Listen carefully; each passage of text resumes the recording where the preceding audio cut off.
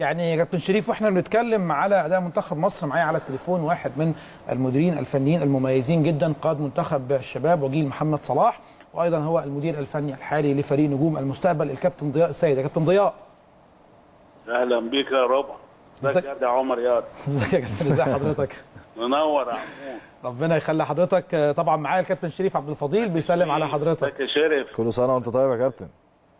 ربنا يخليك كل سنه وأنتم طيبين. يعني يا كابتن أكيد وحضرتك موجود معانا كابتن ضياء. لازم يعني أخد رأي حضرتك في أسباب منتخب مصر في خسارته أمام منتخب روسيا بثلاث أهداف مقابل هدف.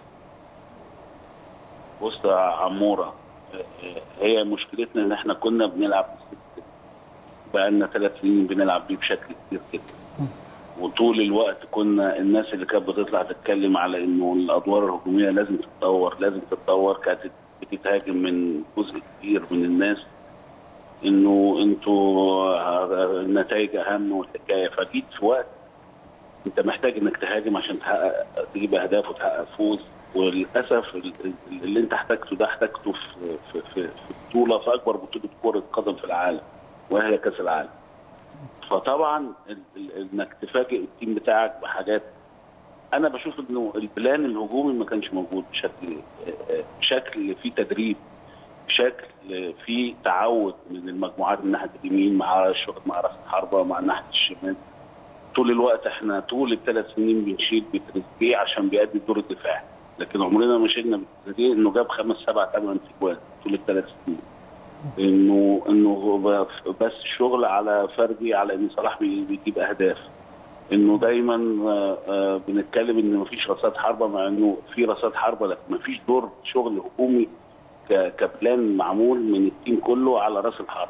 عشان نشتغل ونقول إنه لا, لا أنت كل آه، دور رأس الحربة إنه يكون بيأدي دوره زي السباكات إنه يدافع بس على ال- الاسطوبارين بشكل كبير ولما يدافع على الاسطوبارين ويخبط ويتزحلق ويقع يبقى بنقول عليه أجاد. فالايه اتعكست. فجأة انت مطالب انك تكسب ومطالب انك آه، عشان تكسب لازم تجيب اهداف. صلاح كان مصاب بقاله 24 يوم آه، رجع فجأة حملته كل الدنيا على إن صلاح هو اللي هيبقى المنقذ. لكن المنقذ شغل جماعي آه، في كأس عالم. كأس عالم ال- المستويات بتبقى حاجة تانية. حتى لو إحنا قلنا إن روسيا أقل لا روسيا مش أقل روسيا آه، آه، درجة ال- ال- ال- اللياقة عالية جدا كمية السرعات كبيرة جدا كمية الالتحامات كبيرة جدا بتلعب على أرضها وسط جمهورها بشكل كسبانه المباراة الأولانية ففي حاجات كتيرة جدا كانت بعداك بشكل كبير لو إحنا أصبحنا لما الناس بتت...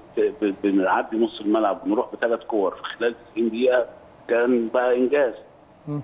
مظبوط. ف... ف... وهتلاقي الأهداف رغم كده أنا كوبر يعني معذور في في جونين. يعني الجون الأولاني بدلك أحمد فتحي الجون الثاني بدلك علي جبر. الجون الثالث نسخة طبق الأصل هتلاقيه دخل نفس القصة في في في بلجيكا. هتلاقي آه، آه، فيلايني جاب الجون بنفس الطريقة. هتلاقي آه، هازارد جاب الجون بنفس الطريقة. غلطات إلى حد كبير فردية. لكن أنا بتكلم في المجمل كشغل فني كشغل على أداء هجومي اللي انت كنت محتاجه النهارده ضروري انت أصبحت محتاجه بعد ثلاث سنين. بعد ثلاث سنين. ففجأة طبعاً. بحس إنه انت فاجئت الناس وفاجئت اللعيبة وهو, وهو أساسا ما كانش طول الوقت مش متعودين على إنه يعملوا البلان ده. كان البلان كله إنه كرة مرتدة صلاح آه، 90% من أهداف المنتخب هتلاقي عبد الله السعيد وصلاح. صلاح نمرة واحد وبعدين عبد الله السعيد وراه وكمان يا كابتن. ضياء المنتخب مصر كان عنده مشكلة. ان دايما لما إحنا بنسجل الأمور بتمشي بشكل كويس جدا. لكن لما بيخش هدف في منتخب مصر بيبقى عندنا صعوبة بالغة في تحقيق هدف التعادل وبالتالي المباراة في النهاية بتخلص بخساره المنتخب كل في صعوبة في كل المباريات لما بتسجل ويدخل فيك تعادل بتبقى عايز تكسب يا إما بتتغلب في نهائي إفريقيا يا إما بتكسب الكونغو بجون بينالتي بشكل كبير. الماتشات المصرية لازم يكون لها plan هجومي، ال plan الهجومي ده لازم تكون فرق متعودة عليه طول الوقت في المنتخب وهي شغالة. بتعدي على مراحل كبيرة. لأن خد بالك خلال الثلاث سنين هتلاقي المنتخب لعب مثلا بتاع 20 مباراة ما بين ودي ورسمي فماتشات المنتخب قليلة. فكان لازم يكون في ده شغل على ده شغل على ده. وما إحنا ما بنقولش نلغي حاجة ونعمل حاجة. إحنا لغينا فعلا الناحية الهجومية بشكل جدي بشكل فعال.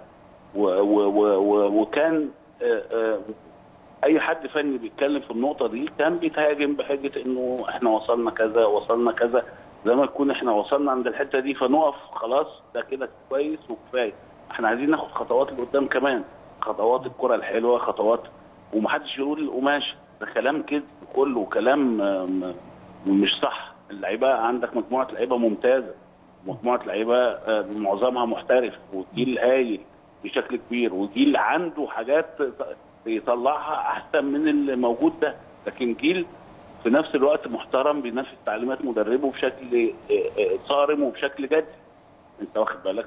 فهي كل ده كوكتيل آه، حاجات الناس ما تبقاش متفاجئة الناس ما حاسس إنها اتفاجئت إن إحنا اتغلبنا. لا يعني العملية كان في آه الناس فرحانة وفرحانة بالمنتخب وعايزة تعدي الدور وعايزة تعمل مباراة. لكن أنا بشوف إنه آه، فيها صعوبة بشكل كبير جدا يعني يا كابتن ضياء حضرتك آه، أحمد حجازي كان موجود آه، مع حضرتك في المنتخب وأكيد حضرتك من المدربين اللي ضربت جيل آه، شباب يعني صاعد آه، طلع منه نجوم كتيرة جدا لكن الأخطاء المتكرره ودربتك أنت كمان يا عمر يا كابتن ده أنا ليا الشرف ده أنا أحسن مواسم عملتها معاك يا كابتن ضياء يعني يا كابتن ضياء الأخطاء المتكررة في دفاعات منتخب مصر وإحراز أهداف.